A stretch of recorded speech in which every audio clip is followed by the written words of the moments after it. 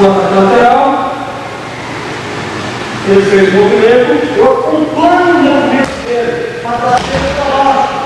Prendi, ele está preso.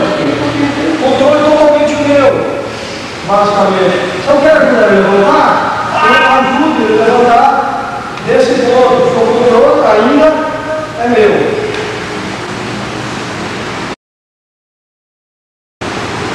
O ataque lateral,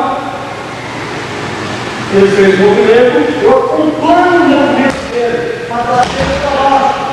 Prendi, ele está preso aqui. O controle totalmente meu, basicamente. Se eu quero ajudar ele a levantar, eu ajudo ele a levantar desse ponto. O controle ainda é meu.